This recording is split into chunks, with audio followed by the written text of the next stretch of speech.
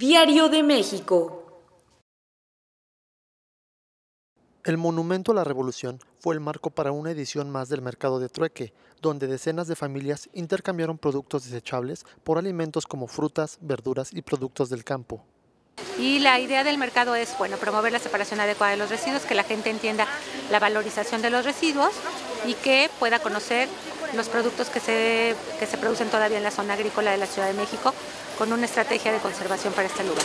El evento tuvo muy buena respuesta, pues alrededor de 3.500 personas asistieron con bolsas grandes que en su mayoría contenían cartón y plástico, que cambiaban a su vez por productos verdes con los que adquirían los alimentos agrícolas que deseaban. Eh, me parece que es una excelente opción que pone el gobierno para poder este, nosotros como ciudadanos a reciclar y separar nuestros desechos y poderlo compartir, bueno, con los puntos que nos dan, poder adquirir productos naturales. Me parece que es una iniciativa muy buena, muy interesante, que ahorita lo que podemos ver es que ya la, la demanda ya superó la oferta. Creo que lo que sigue es pensar en hacer un cálculo real para contratar a más productores o bien hacer más puntos de, mercado de trueque.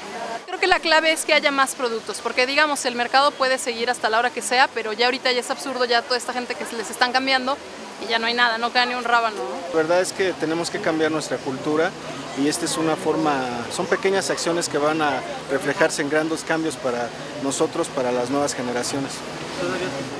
En esta ocasión se instaló una exposición sobre los alimentos que se producen en la zona de Xochimilco, Milpa Alta y Tláhuac, además de clases de cocina y carpas donde se impartieron clases de educación ambiental. El mercado de trueque se lleva a cabo en distintos puntos claves de la Ciudad de México y la siguiente edición será en el bosque de Chapultepec.